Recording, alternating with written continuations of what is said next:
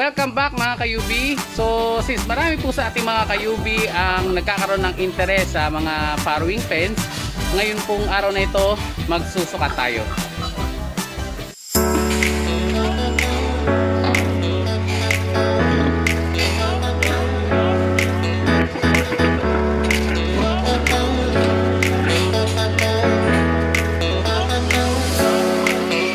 Ayan po mga kayubi, ang farrowing crates po or farrowing pens tulad po ni nito, ano po, ay napakalaki ng tulong sa ating mga inihin at ating mga biik. So dito po mas mabilis lumaki ang ating mga biik at menos po ang pagtatae. Kaya ngayon po susukatin po natin ito. Pauunahan ko na po mga kayubi, hindi po tayo masyadong magaling dito. Pero susubukan pa rin po natin. So ito po ang ating ah, metro. And then sukatin po natin muna yung elevation. Dapat po ito ay nasa 1 foot. Ayan, or ah, 30 cm. Yan po yung angat ng ating farrowing pen sa sahig. And then next naman po is yung floor area. Sukatin po natin ito. So meron po itong space para sa mga biik. So ito po yan. At ito po dapat ay approximately nasa 2 feet yan. Pero mukhang kulang siya. So, ito po mga plastic flooring na ito, approximately dapat po nasa 1 by 3 feet ito. So, siguro po talagang yung ah, sukat ng ating mga farrowing pens ay magdedepende din dito sa kung ano yung size na makukuha natin or mabibili natin ng plastic flooring. And then, ito naman po yung space para sa inihin. Ito naman po, dapat ito ay nasa 2 by 2 feet. Ano po? So, ito naman po, almost 2 feet nga rin siya. And then syempre itong kabila, ganun din po siya dapat. So, dapat nasa 2 feet din siya. So, syempre po, ang lapad po nito ay almost 6 feet. Or dito po, exactly nasa 180 cm sa farrowing pen ni Ma'am Helen. Para sa haba naman po ng kulungan, sukatin din po natin yan. So, ito po ay almost 7 feet or nasa 210 cm ang haba po ng ating kulungan. Kaya ang haba po ng ating kulungan ay dalawa at 1 foot na plastic flooring samantalang tatlo at 1 foot naman na metal flooring. Ito pong mga flooring na ito ay detachable. So ito po, natatanggal yan.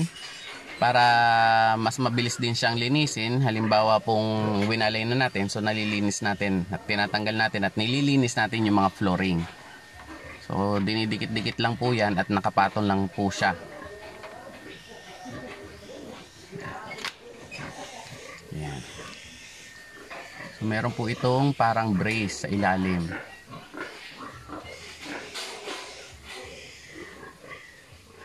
Yan po.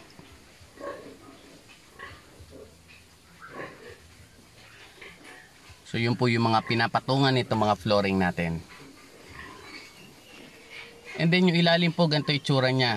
Puro tae. Pero meron rin po yan in parang brace pa sa ilalim. Doble po ito dahil para masuportahan naman yung bigat ng ating inahin. Dito rin po sa kabila.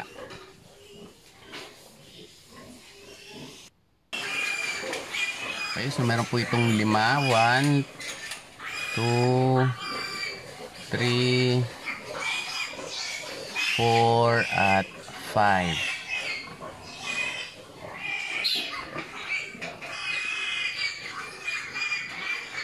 And then dito naman po sa kabila, ah meron po ditong, ayan, isa. Parang isa lang po siya talaga.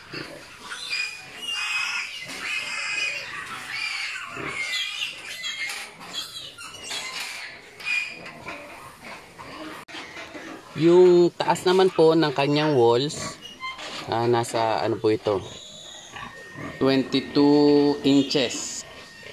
Ayan po.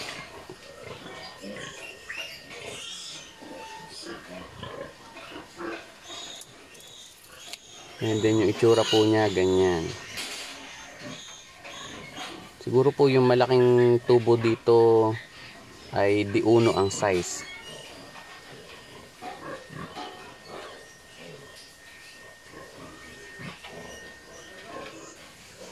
Dito na po tayo sa mismong kulungan na ating inhin. Pero papatulong na tayo kay Sir Jimmy.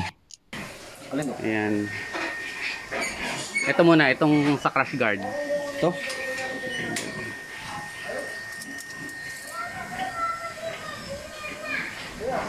Ano ko? Mga 7 inches. 7 inches. Yung height mula sa ilalim. Ganun tayo sasagad eh. Oo, sa bagay. Dok 30. 30. Hmm. Ah, 30 cm. 30 One, cm. isang feet. Isang foot. Sampit. Tapos ito.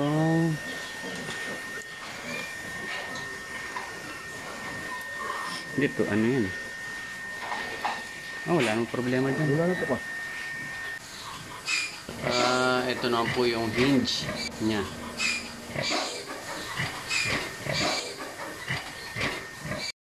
Ano din? 30 cm din yan. Hindi. Oh, 1 foot din. Te- 29.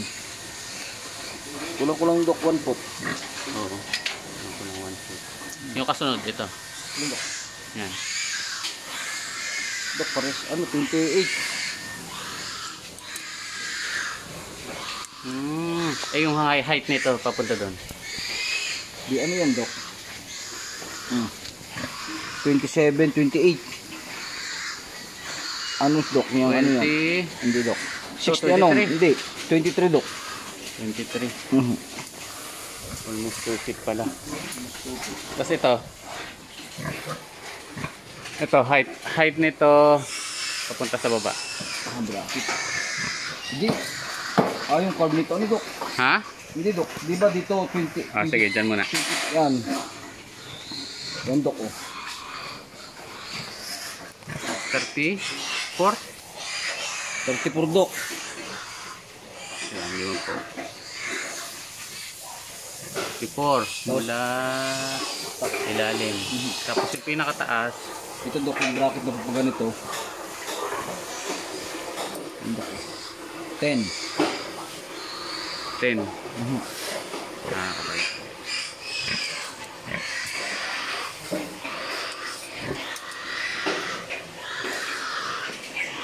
Dok, 24.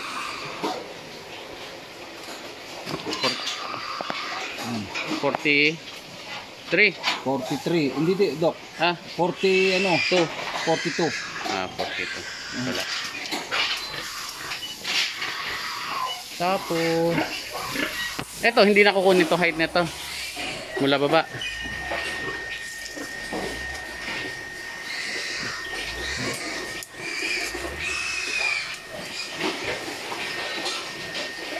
Dok, ano? 102. 49? For, Ah, 40. 40, Dok. 40. 40.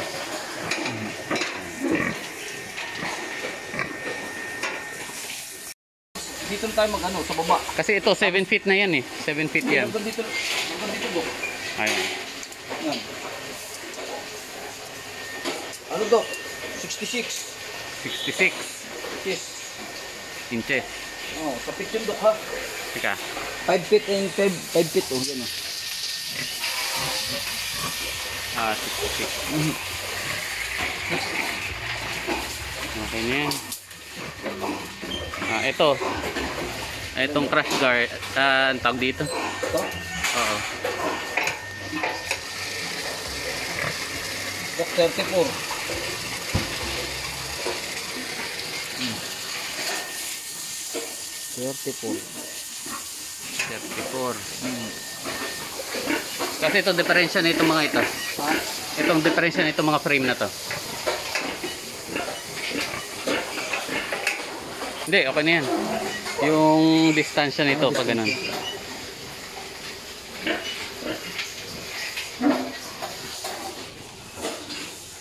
Forty-one, Dok. Ha?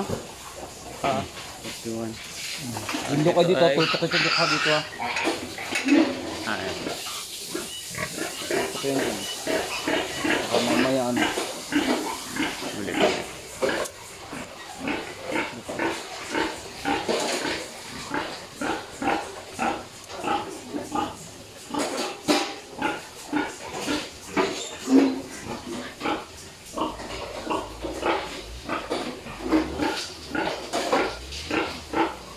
Magiging Hindi pala parehas ano. hindi pares yan dok. Magiging ano lang yan dok.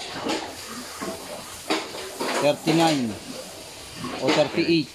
38. 38 dok. Tapos ito ay dire-diretso dito. Kabig lang naman yan dok.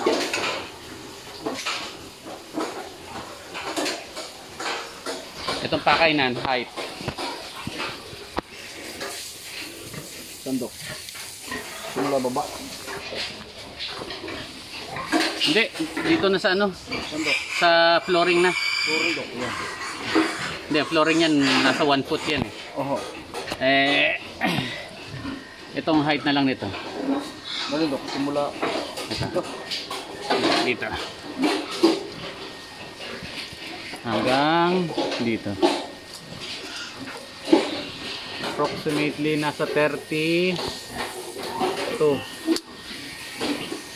kapag dito. 32 dok. Sagadan yan. 32.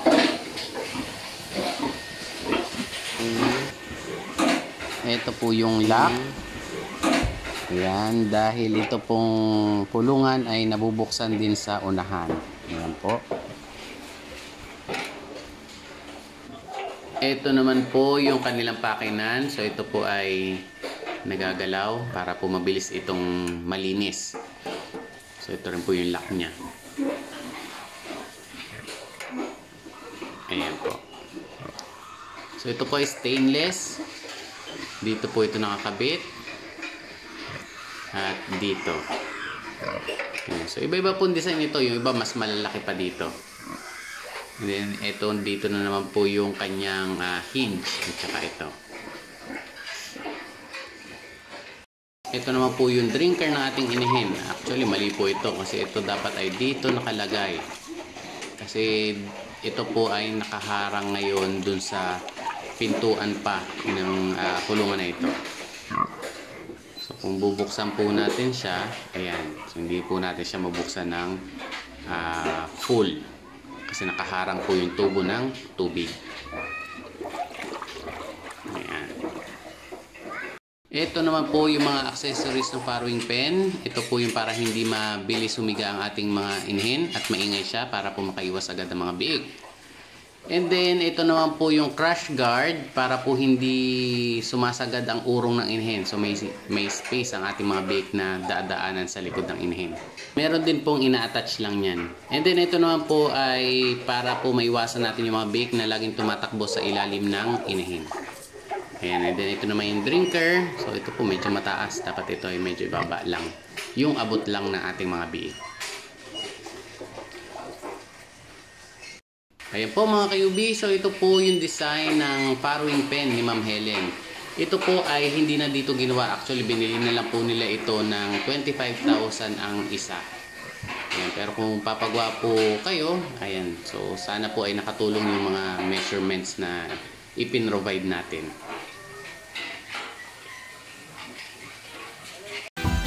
So ayan po mga kayubi, sana ay na-cover natin or nasukat natin ang lahat ng dapat na masukat. Hindi po tayo sanay sa pagsusukat or paggawa ng farrowing crate. Pero sana makatulong po ito sa mga kayubi natin na gusto magpagawa ng farrowing crate. So maraming salamat po ulit sa panonood. Isa pang baboy na may katuwaan Pampasaya ng pigrolak